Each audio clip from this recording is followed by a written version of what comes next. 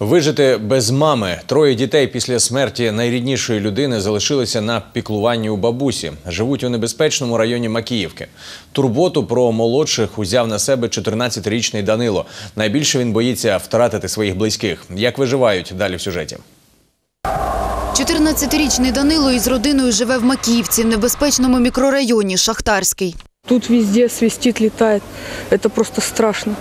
Два з половиною роки біля їхнього будинку майже ніколи не було тихо. Хлопець несе відповідальність за родину. Йому доводиться піклуватися про близьких, сестру, меншого брата і бабусю. Страшно иногда. Стекла трясутся. Это как-то ну, ненормально. По полночи не спим, потому что взрывы, взрывы, взрывы. Дети, конечно, маленькие, конечно, боятся, старшие уже к этому привыкли. Хоть бы быстрее закончилось, хочется мирного неба. Данилу та Богдана – двійнята Давидові 5 років. Три роки тому їхня мама померла від пневмонії.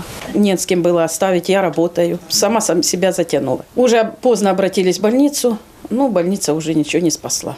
Після смерті дочки Ольга Вікторівна оформила опікунство над старшими онуками. У Давида інший батько. Хлопчик буває в нього у вихідні. Поратися з трьома дітьми бабусі складно, тому всі домашні справи підлітки роблять самі.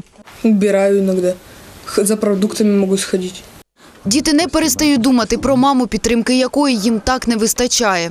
Скучаю. С- Трудно с Завидом. Он иногда такой вредина.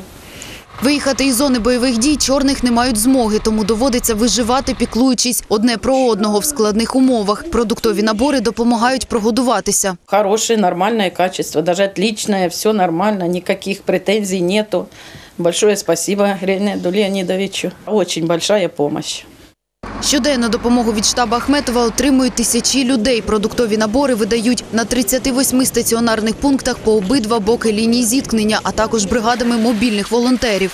Сахар очень хорошо помогает, чаи гоняют. З борошна для онуків часто щось пече. Пирожочки с капустой и с повидлом. У меня внук очень любит с капустой.